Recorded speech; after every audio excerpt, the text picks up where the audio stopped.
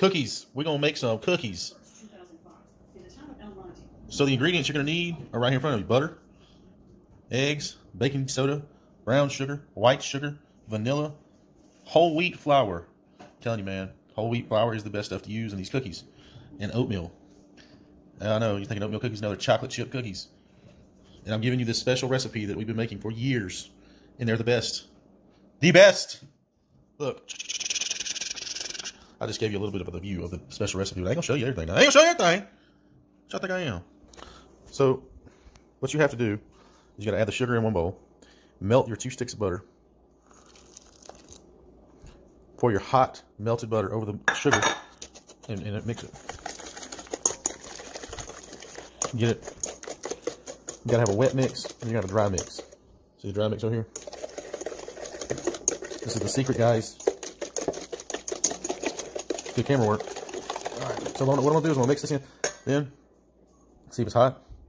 It's not that hot, so you don't want to add. You want to add your eggs to this. You don't want to add it hot because it'll turn into scrambled eggs. So, there you go. Now mix this up.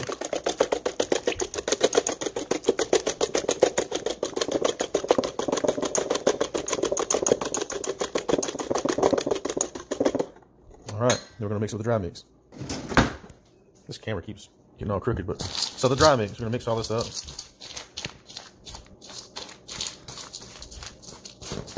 So the dry mix is baking soda, whole wheat flour, Quaker oats, so oatmeal, uh, a little bit of salt, chocolate chips. That's the dry mix right here. The wet mix, of course, is brown sugar, white sugar, melted butter, eggs, and I added some a tablespoon of vanilla. Now we're just going to combine these two and fold it in. This is what it looks like right here.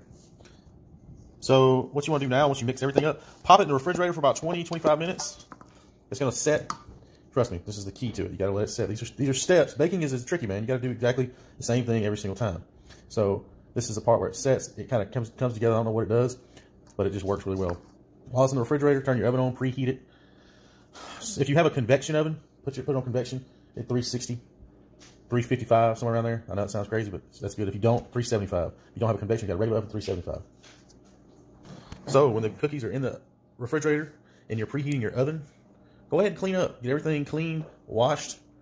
Because when you bake those cookies and they're done, you ain't got to do nothing afterwards. Recipe time. So what you want of these old-fashioned Quaker oats, you want about three quarters of a cup.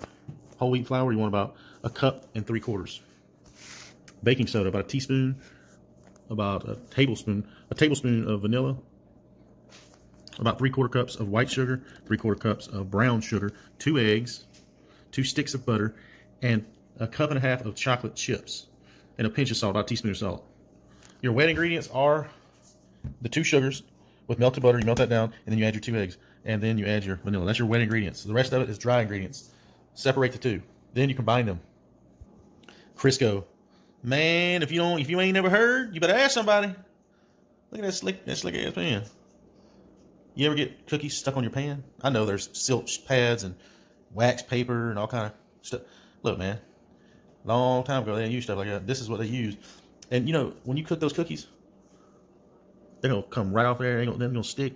And really just wipe it off, stick it back in your cupboard. No mess, baby. I'll show you. All right, so it's been about 25 minutes. The timer just went off for the oven. It's hot. It's ready to go. So we'll take these.